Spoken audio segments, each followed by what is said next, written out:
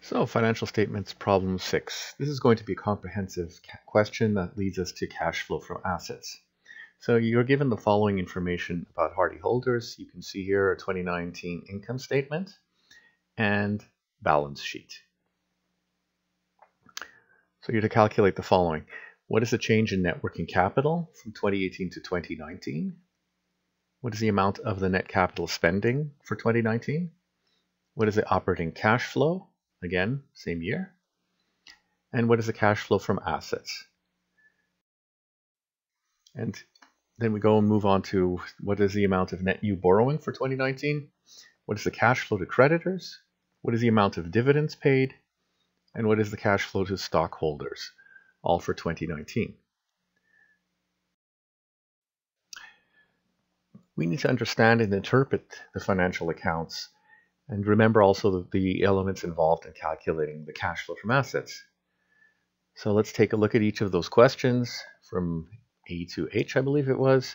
First of all, the net change in net working capital. We have to know that working capital is calculated as current assets minus current liabilities.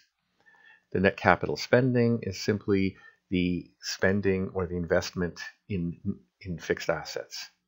And we have to keep one thing in mind depreciation. So it's not going to simply be the difference in fixed net fixed assets from one year to the next.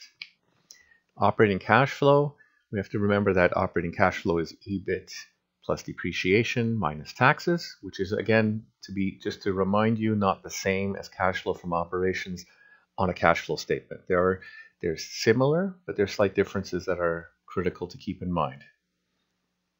Then we have the cash flow from assets which are comprised of the three parts that we calculate above there, in fact. That's the operating cash flow minus the net working capital and minus the net capital spending. Net new borrowing is simply the difference in the debt. And to calculate the cash flow to creditors, we have to consider these uh, two places that we can look at it. One is due to the net new borrowing, and the other one is in the income statement, simply the payment to uh, of interest. Dividends paid, if we're not given that information directly, which is the case here, we can calculate that given uh, the income statement and the balance sheet.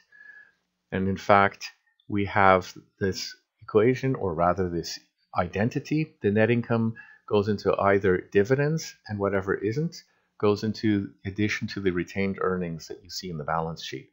So those are the two places where the net income can go to. That's why we would be able to calculate the dividends. And the cash flow to shareholders or stockholders is basically we're looking at the dividends and any changes, money received from new shares, and we're going to talk about that when uh, on, when we get to H. now let's take a look at the network change in net working capital. So net working capital is the current assets and the current liabilities. So we need to identify the current assets. Well, we have here, we have cash, we have accounts receivables, we have inventory, and this total, that looks right.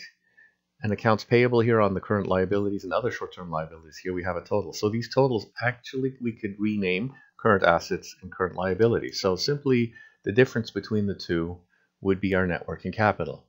So net working capital for uh, 2019 is this 11,000 uh, minus 2,400. That gives us our amount. And similarly for 2018, so the difference between the two is $702. Now let's move on to net capital spending. As I mentioned, it's uh, not just the difference in fixed assets, but it starts off that way. So we look for the amount of uh, fixed assets. There we have our 4,488 from 4,080.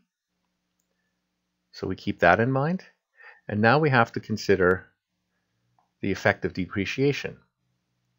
So here we have the depreciation on the income statement.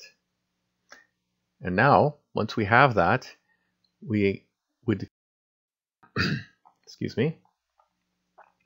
So let's figure out if there's an equation for it, which is straightforward, but let's figure it out anyway. Imagine what the, would the net fixed assets have been or would be if there were no none bought or sold during the year. In other words, during the entire year 2019. So we'd have we'd start the year with the 4,080 from the year 2018, and then we'd have depreciation, which would give us the end value, as we can see here, of 2,580. But since the actual value is 4,488, that difference here tells us how much was actually spent. And that is our net capital spending. So the net capital spending is the fixed assets at the end of 2019, uh, which is 4488, uh, minus 2580, which of course is the beginning of 2019 minus depreciation. Now remember the fixed assets beginning of 2019 are the fixed assets end of 2018. So that gives us how, how the calculation, we end up with 1,908. Now for the operating cash flow, we just look at the income statement. We have here EBIT, as you can see, EBIT depreciation and taxes highlighted. And we solve that, gives us a 9,700. And now we do the cash flow from assets, which as we know, is going to use the answers to parts A to C that we just calculated. So it's equal to the operating cash flow, that's the 9,700, minus the change in net working capital and minus the net capital spending, so those are the other two, and that gives us 7,090. Now we also want to remember that cash flow from assets are is where do the, this we did the derivation of the cash flow from assets. Where does it come from? But where does it go to? That's the cash flow goes to creditors and the stockholders. So cash flow to debt and equity. Now we're going to look at it from the other point of view from the liability side. So we start with calculating the net new borrowing for 2019 and the cash flow to creditors.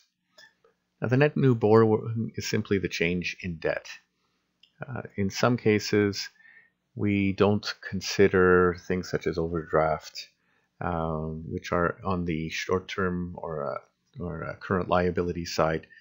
But uh, we don't have any in this example, so that's not such a big deal. It's all about the long-term debt, which we can see here.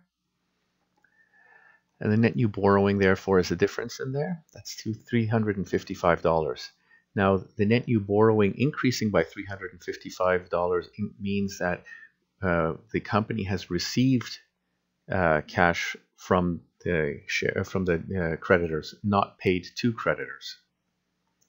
So the cash flow to creditors is the amount of interest paid to them, and minus the net new borrowing. Now the interest paid is on the income statement here. We have 500 as the interest expense, and so we now simply calculate as 500 minus now the amount received for the net new borrowing, which is $145. Now, what is the amount of dividends paid? As mentioned, we don't have the dividends uh, shown directly, but we can figure it out indirectly. We're using the fact that the dividends are paid out of the earnings of the company, so that's the net income. And where does it go to? We're going to see that in the retained earnings. So the rest of the earnings that are not paid as dividends are kept and they add to the retained earnings. So the difference here is between the retained earnings, which is the total retained earnings as of the end of 2018 versus the total of retained earnings as of the end of 2019 is coming from this the net income of the year. So we use these two. And the net incomes is the dividends plus the change in retained earnings. So we turn it around, calculate the dividends to be net income minus the change in retained earnings. And we can see here that 7,700 minus the 2753 and the difference between that and 2368. So 7,315 is how much we paid in dividends. So that's part one that we need to do to calculate cash flow of stockholders. Then we have the other part, which we have to see if the stockholders paid in any new money into the company. So the cash flow to stockholders is the amount pay, of dividends paid to them, which we just calculated, minus net new money received from them through new share issuance. Now we can see that. Now it would not be in the retained earnings section because retained earnings is not a cash flow to or from the stockholders. It's basically the difference, uh, or, or rather, it's what's kept by the company out of its own earnings. However, the paid in capital is another story. So New money can be seen as a change in the amount of paid in capital. So here we see it, the difference between the 4070 and the 3700. And that means the paid in capital is 370. So that means we received, the company received 370 from the shareholders and paid uh, 7,315 to the shareholders. So the net amount paid was the difference there. So it's 6,945. So we've answered all the, the questions, but let's recall. From D, we calculated the cash flow from assets based on the identity equals the EBIT plus depreciation minus tax, and that was the answer was 7,090. Now from F, we calculated the cash flow to creditors is $145. From, from H, we calculated the cash flow to stockholders is 6,945. So now we can calculate the cash flow from assets using the identity, cash flow to creditors plus cash flow to stockholders, and that we add those two up and we get the same number. So we have confirmed the identity, that fact that uh, cash flow from assets is the same both ways we calculate it. That's it, and thanks for your attention. Hopefully that helped.